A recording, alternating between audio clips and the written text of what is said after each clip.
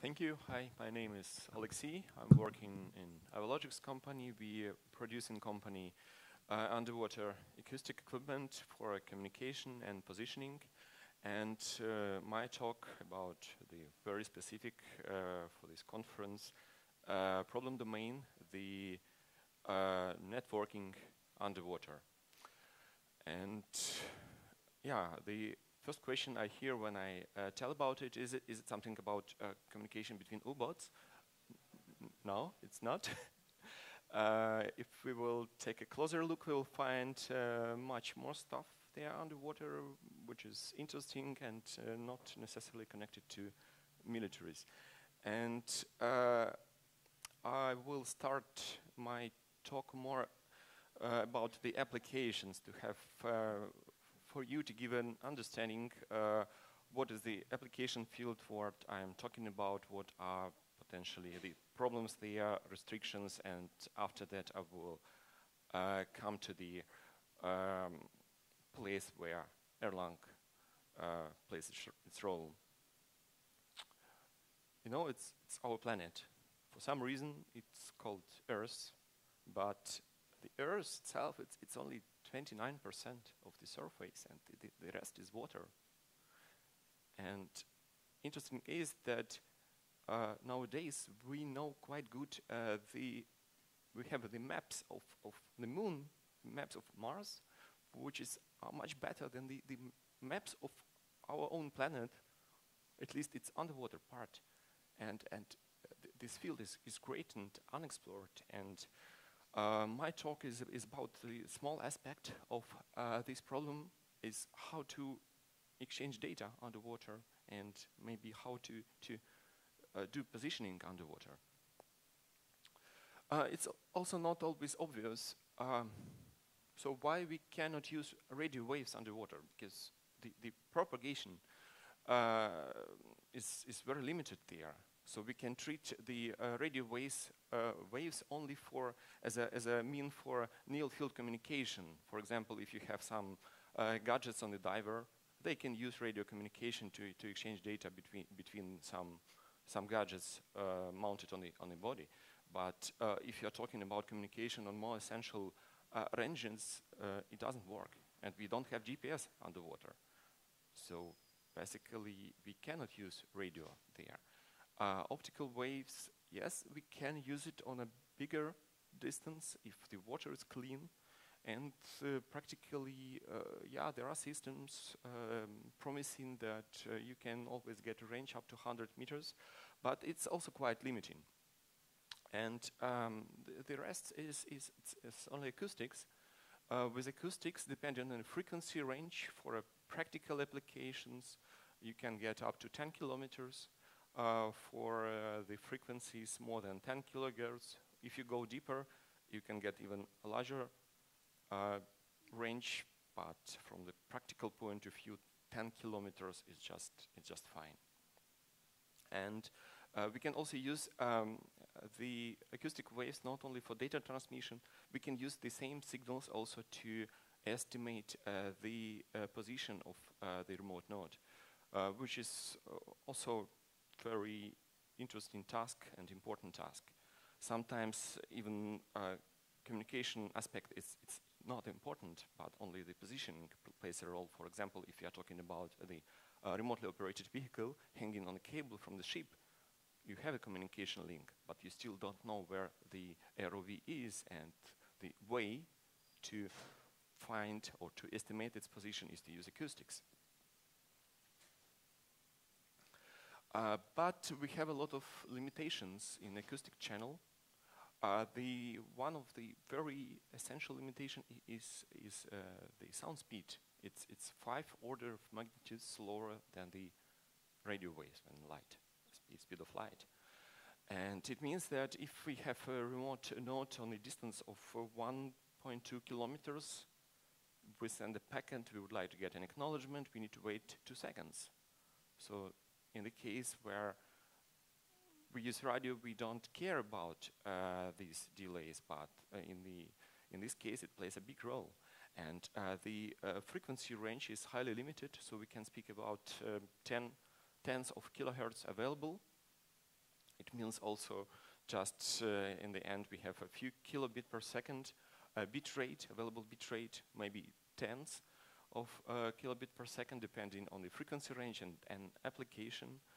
But uh, having uh, this range, just, just imagine, uh, we, are, we are typically using megabits, gigabits, we forget about what kilobit is. Just maybe find, find your old-fashioned modem you used maybe in 80s or 90s and try to use it today to connect to the internet and to find, uh, to, to, open the simplest page. You will get this feeling.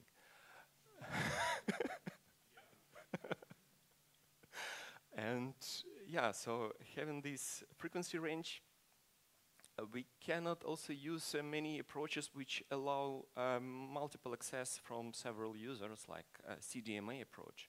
It's, it's some suppliers say they use it, uh, but uh, with a very limited number of users, maybe four, maybe eight best, and uh, the, the efficiency, uh, bit per joule efficiency in this case would be not necessarily good. And we cannot also uh, transmit and receive data at the same time.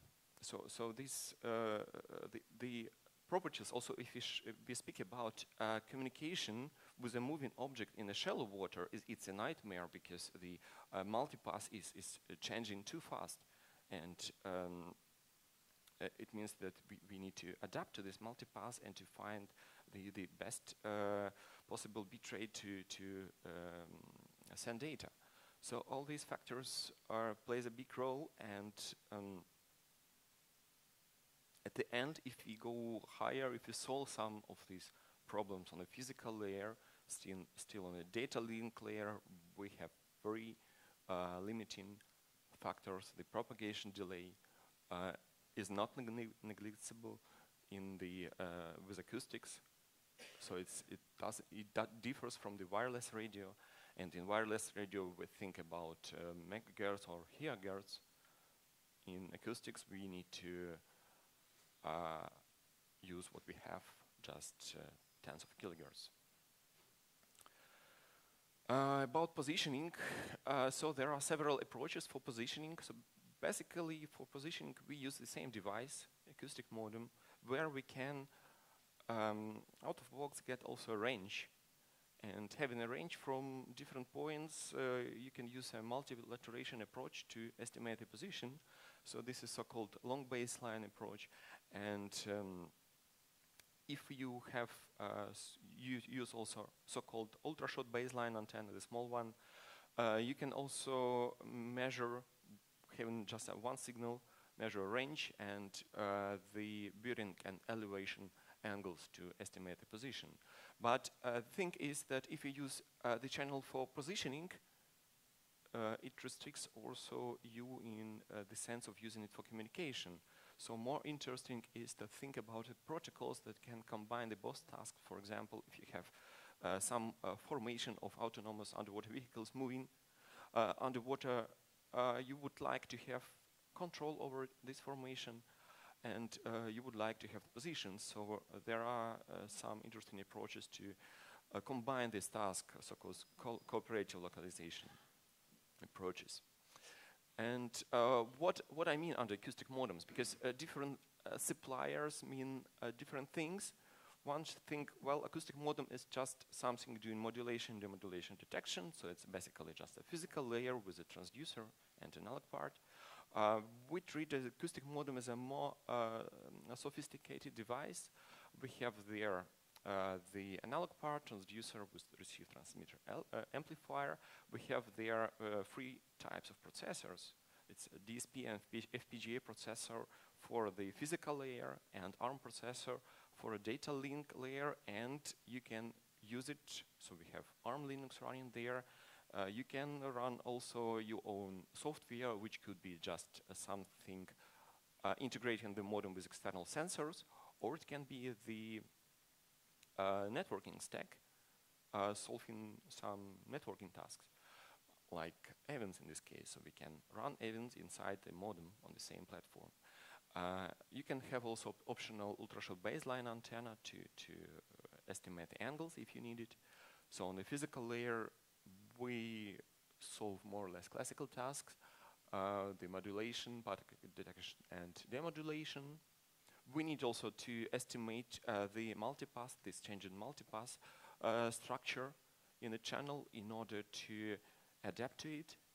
And we do also some uh, estimation of time differences of arrivals on the ultrashort baseline antenna grid. Uh, on the, on the uh, data link layer, uh, we have two approaches. We have combined them in one protocol. The first approach is optimized for data transmission point to point between two modems, where we try to find the best optimal bit rate for data transmission.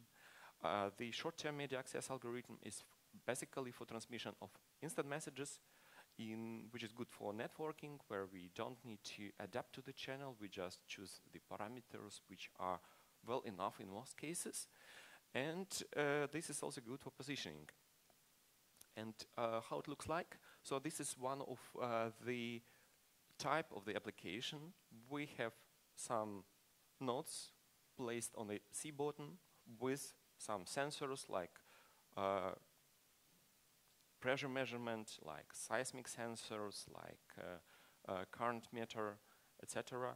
And uh, we, we, would like to get uh, the data online if we have a surface buoy, or just on occasions if we come with a boat to the site, we can download the data. So these are more or less typical approaches for data transmission. Uh, with sea bottom observatories, you see this picture. Oh, sorry, it's it's too early, but this one, it's the modem used for low frequency modem for high range, used for or developed for tsunami early warning system for Indonesian system, and uh, this one, uh, yeah, it's used on the Baltic uh, Sea in order to measure uh, the the current profile and uh, transmit data. This is the modem. Yeah? Transmits data from uh, the station to the buoy and then via a satellite link to the to the shore. Yeah, and uh, this one uh, shows you how it looks like uh, after you will recover it. This nice picture. This is the modem after three months of use uh, in the Mediterranean area on a relatively small depth, it's still functional, yeah, but if you, if you keep it longer, at some point it will not work properly. So the other picture, it's also quite nice. It's, it's, it's uh, the modem was used uh, on the surface of Atlantic Ocean uh, for the uh, data extraction from the observatory close to Black Smoker Lucky Strike. And uh, it's it's very interesting area for for geophysicists, for oceanographers. But you see what happens. here. So this is a very aggressive um, media there, and it's also a limiting factor for the uh, duration of uh, the deployment. Uh, this is another, uh, let's say, typical uh, case. It's a positioning of uh, underwater autonomous vehicle, AUV, uh, during some operation. So typically we have some vessel launching the vehicle and the vehicle is doing some operation, but you would like also to, to have a control over it and to, to track what happens underwater to get a status by acoustic link and to estimate the position. In, in the more interesting cases, you can have a couple uh, vehicles doing some uh, something together. And in, in this case, uh, the, the networking is starting to play a big role because you would like not to lose control over each of the vehicle and to, to see what happens on all of them and uh, to avoid possible collisions. It's, it's expensive to have collisions, yeah? Here. And uh, yeah, this is a picture just showing how it looks like. This is a special design of uh, ultrashort baseline antenna optimized for, for the vehicle uh, to have the smaller drag. Um, then, yeah, this is uh, another case. This is a long baseline positioning. So what happens here, we place some nodes on the bottom then calibrate the system in order to define the geographical position of the LBL nodes, and then you can put some equipment there and uh, run the antenna in order to, to track uh, most accurately the, the positions of the AUV or remotely operated vehicle. Uh, and yeah, just to, to have a feeling, what is the size of the unit? We have this nice picture here. And the, this is the other picture. It's it's a, a diver zoned uh, for also for LBL positioning. So if you would like to, to measure some fixed points underwater, you can you can place the zone and then uh, using the LBL antenna you can uh, estimate the position. So this is more or less about uh, ah, it's another very interesting application. Yeah. Yeah, so the precision, in the case of uh, ultra-short baseline antenna, USBL, we measure the, the precision in angles, let's say. So it depends then on the range. Uh, then we have like uh, 0.5, 0.2 degrees. The question was about uh, the precision. Yeah? And in the case of long baseline antenna, we can say already something about centimeters, tens, let's say tens of centimeters. It depends highly on the on the uh, application, on the variability of the channel itself, because if you calibrate it with some sound velocity profile, it may change during a day, and then it will affect the result. So, but you can you can think about uh, tens of centimeters in this case. I can imagine uh, if, as it goes through thermal layers, that would affect uh, the accuracy if the thermal layers themselves you change. can you can measure you can measure uh, the sound velocity profile and use it for the estimation but the problem is with variability so if if the profile will change during the day which happens in some areas it mm -hmm. will affect the accuracy mostly mm -hmm. okay so yeah this is a very uh, specific uh, case this is a Baikal neutrino telescope so the problem is that the neutrino is a small particle which is uh, yeah, hardly to detect. And one of the uh, way to detect it, it it's uh, uh detected through the uh, Cherenkov radiation. But the problem is that uh, in order to differentiate it from the other sources of light, you need to exclude all other sources of light. So you need to go very deep underwater. You need to have a good depth and good transparency there. And in this case, you can say, okay, if you detect something, it's a Cherenkov radiation, and um, uh, the, the, the, system itself is a huge, so the, it consists of a, of a big number of uh, photomultipliers, so it's a, it's a huge antenna. And uh, the problem is it, it's moving. So if you even detect the Cherenkov uh, radiation, you would like also to find some parameters, uh, the, the direction, and uh, in this case you need also to have some estimation about the position of the photomultipliers during the event happened. And yeah, so yeah, so you need to you need to use acoustics in this case as well. Yeah? It, it's how it looks like. So it's just baseline modem there. And uh, this is uh, just a standard sphere used also both for photomultipliers or and for, for the rest uh, electronics there. It's basically just housing. Um, yeah, so this is about the applications.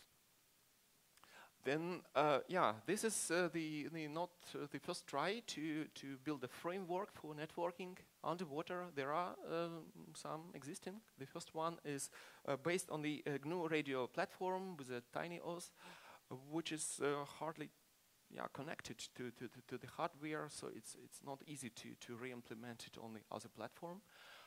the other two, Sunset and Desert, yeah, well-developed platform based on uh, NS2 uh, simulator.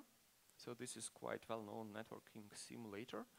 Uh, they adapted it to use it in, in real life. Uh, the problem with it is that you have quite a big threshold before you start to do something on based on these frameworks. And UNetStack, it's, it's a yeah, JVM-based framework. Uh, the, the, this uh, free Sunset Desert UNetStack also compatible. You can basically run it inside our modem, but we decided for our own projects uh, to develop something uh, different because yeah, it was not really easy to to go in with, with this framework. This was one of the reasons. Another reason, yeah, we, we, are, we are looking what would be the, the base uh, for, for, this uh, new framework. Uh, and uh, yeah, we have decided to use Erlang language just to specify uh, about which layer we are talking about. It's, it's not a physical layer. We have also uh, this uh, DMAC protocol implementing the, the basic data link layer and the Erlang plays a role on, on top of it. So basically, if you, if you do the integration with sensors or you build your own networking protocol, we have started to use Erlang to solve these tasks. And uh, what are the challenges uh, underwater? So equipment is, is uh, expensive. Even more expensive is to test it, because in order to test it in real under realistic condition, you need a vessel to transport it somewhere and uh, the vessel cost per day, it's, it's about it, it tens of thousand euro a day. So you think that developer will ask manager, well, I need to test it next week. Well, it doesn't work.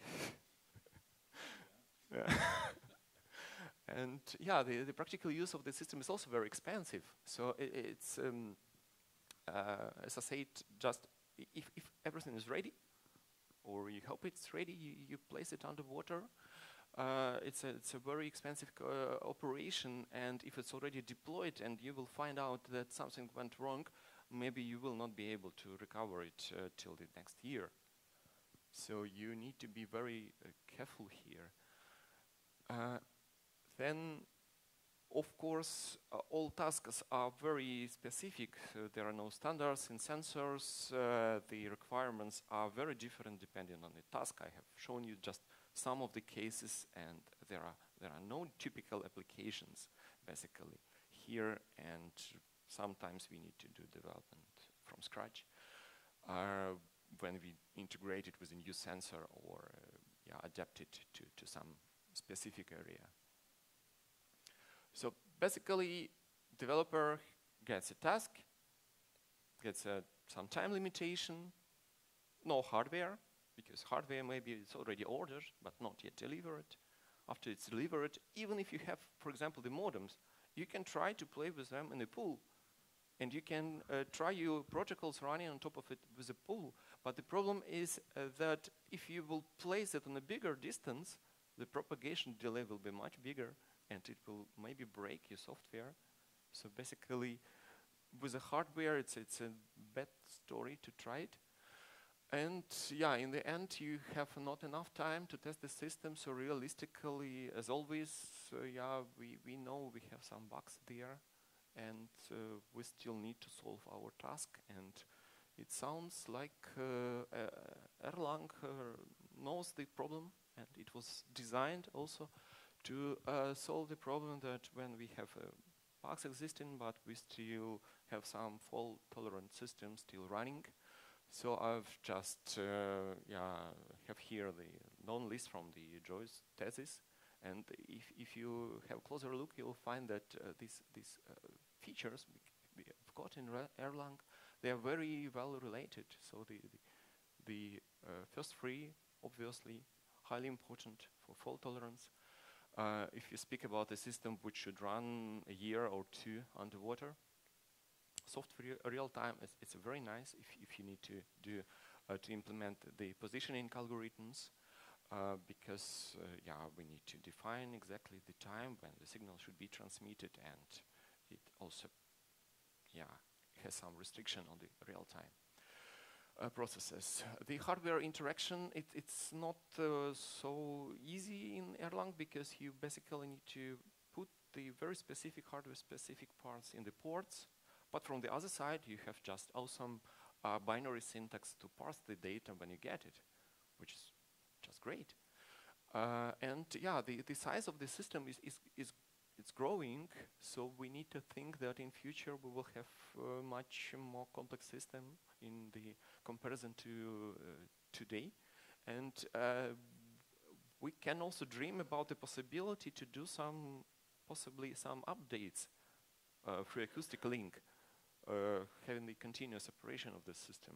So it's, it's some way to go, but maybe it will work.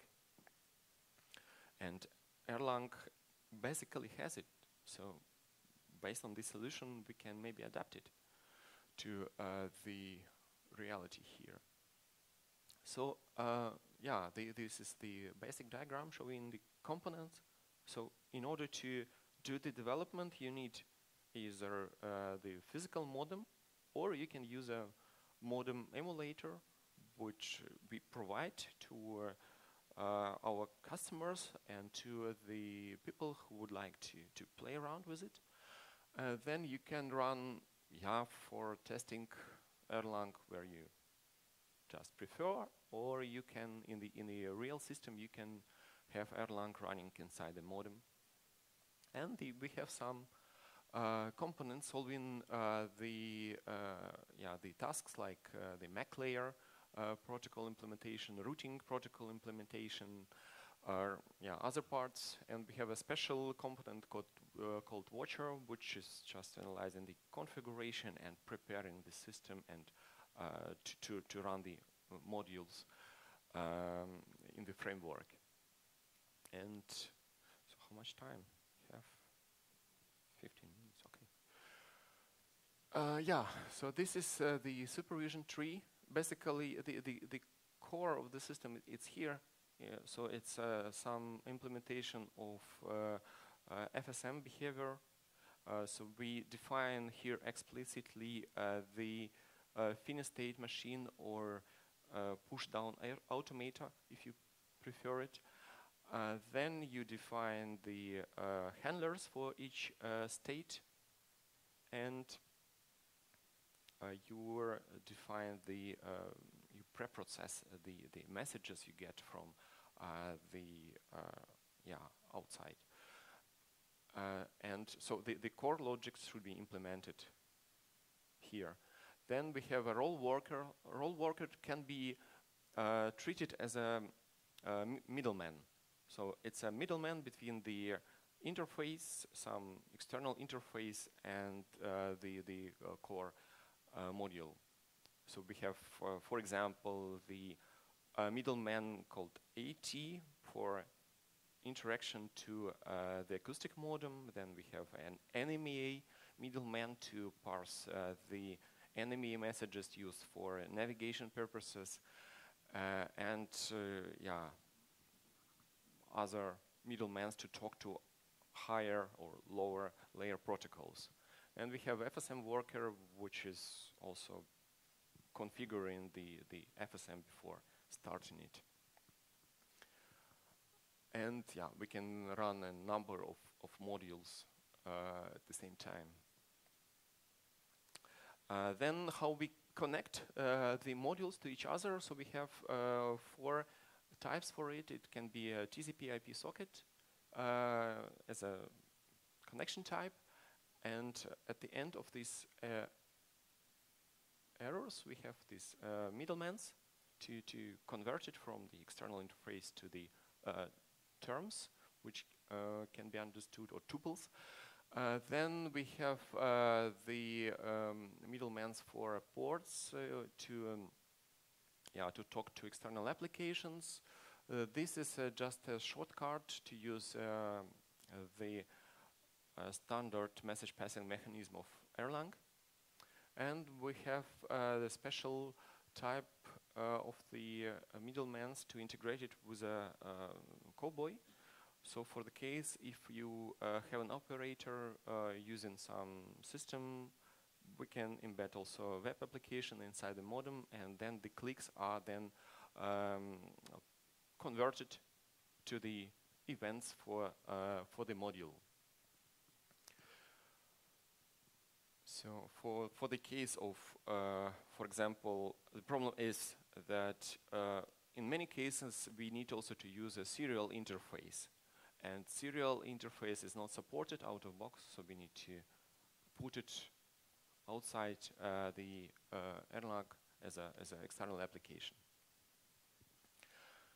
Yeah, so in order to, if you would like to um, create new, new module, you need to follow these steps. You need to create uh, the uh, FSM behavior implementation uh, you need to create an FSM worker implementation, then you need to define explicitly the finite state machine or push down automata, and then have a converter from uh, the middleman uh, tuples to uh, the events.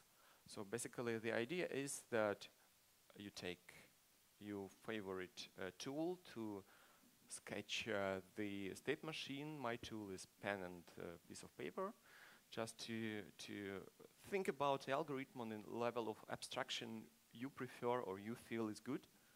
You define the events, you define the states, and uh, then when you are happy with uh, the results, you can try uh, out your first implementation. So you just convert this picture to, to this uh, list. So basically, of course, this step can be optimized if you prefer. SP send phase. So, sorry.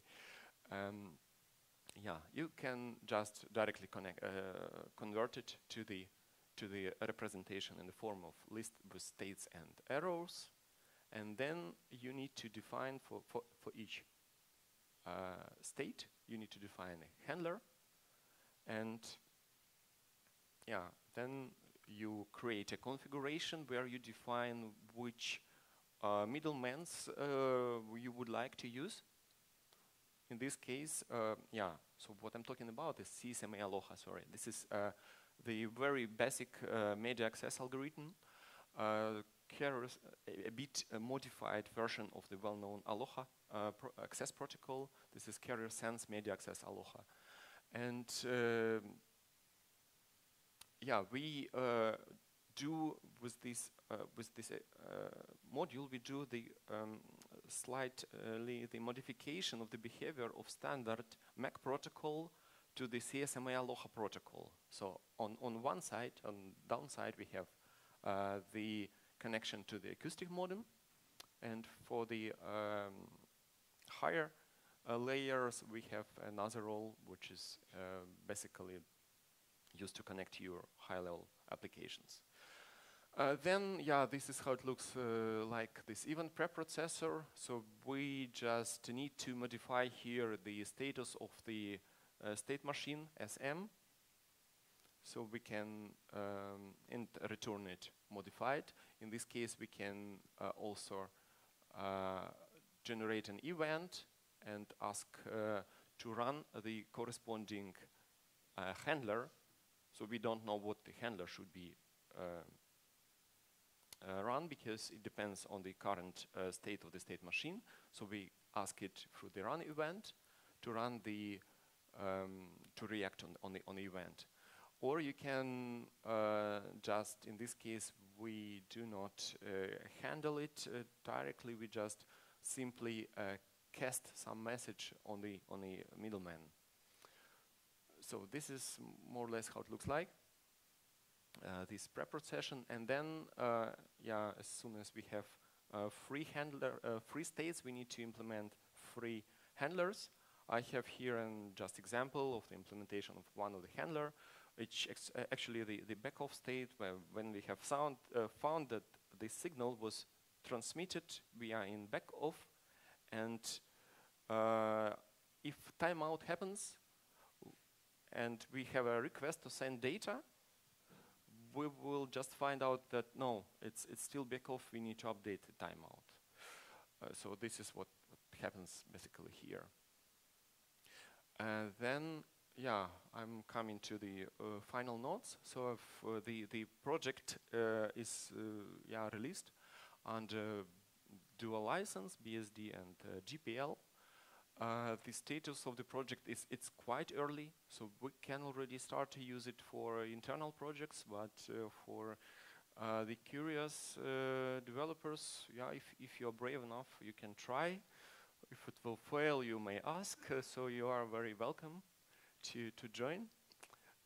for, yeah, for other acoustic modem supplier, we also keep the door open and we also hope to do some kind of uh, unification of uh, the protocols we implement so what will be will make things easier to uh, to to configure the system and to prepare it for real life applications. It's uh, the, the most crucial yeah, next step for us.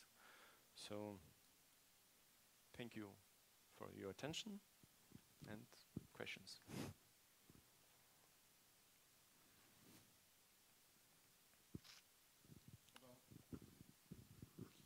How many of these systems do you have deployed in the ocean currently? And Uh, we basically we sell uh, these systems. We don't deploy them, uh, but yeah, we have already hundreds of systems uh, installed. So it's it's quite essen- essential num- number for this uh, problem domain, let's say, and uh, yeah, that's the answer. Is there a, any problem that you can have competing systems on underground on the water? I, I could imagine that you have other sources of sound that kind of uh, interacts, or, or are you saying, okay, in this area, this uh, this frequency band is free for these uh, acoustic modems, or Well, typically, typically it's not a problem. but yes, the, the if you have uh, the noise in the same frequency band, it may affect the uh, system. Uh, there is a question there. Sorry, yeah, microphone. Yeah, so can you speak a little bit about the power, uh, um, power output for these things and uh, interference with the uh, wildlife? uh, power. So, uh, for example, uh, for the system placed uh, close to this black smoker, we have a couple of kilometers depth, and I think so. Minimally, you need to, on the lowest source level, it takes about uh, three watt in transmission. I think they use like 20 watt in transmission, uh, which uh, yeah allows them to use the system a year to transmit data they uh, require. It includes some pictures and includes some data from sensors uh, about uh, the uh, yeah reaction of, of uh, at least dolphins. Yeah, so we have uh, tried the system next to the oceanarium, for example, and the reaction of, of the uh, mammals, it was not uh, like a stress, it was at the beginning uh, curiosity, and then they just ignored ignored uh, the presence of this activity. So uh, the the on on the quite essential distance, the source level is not that high, or the the receiving signal level is not that high, so it will not essentially affect the mammals. And I don't think it's a big issue for fishes. Okay. yeah, I, I was just sort of. Uh, so do you Yeah, it's, it's also quite frequent the question, yeah. right, But so- well, uh, now, how many dB are you actually putting out? Uh, What, what's the uh, the and what's source level, it's it's about uh, yeah depends on model and um, other parameters, but it can be uh, like uh, 190 dB, within uh, what distance? uh, one meter. One meter. Okay. Yeah. So they'd want to stay away from that. Uh, what's the frequency range? Frequency range, uh, typically, uh, yeah, for practical applications, we have three ranges. One is uh, 7 to 17 kilohertz, so you can hear it, this activity, for like 8 kilometers maximum. Then the middle frequency range, in our case, it's 18 to 34 kilohertz, so you can slightly still hear something. Uh, but it's for like 3 kilometers, yeah, in bad channel complicated channel is maybe 1 kilometer. And then high frequency, uh, yeah, it can be uh, 40 to 80 kilohertz or even higher, but it restricts essentially the, the range to kilometer or to a couple of hundred meters. So it depends on the application essentially. Uh, and then, did, uh, so have you spoken a little bit about the sort of general hardware um, sort of footprint that you're looking to design against? So memory size, power, that type of Hmm. stuff. Uh, you you feel constrained in that area, or No, uh, uh, also uh, f- it was it was just uh, not a problem to first to cross compile the Erlang itself for our platform. It took a couple of hours to, to find out the way to do it. And then, uh, yeah, the time to run it, uh, it takes maybe two seconds, but it's acceptable. So if, if it's run, it's run, it's running. Uh, memory consumption is, is also, so we have uh, the platform is uh, 64 megabytes uh, RAM. So it's fairly enough to solve uh, the tasks we have. So I don't feel uh, restricted in this case. Okay, we have time for one more question.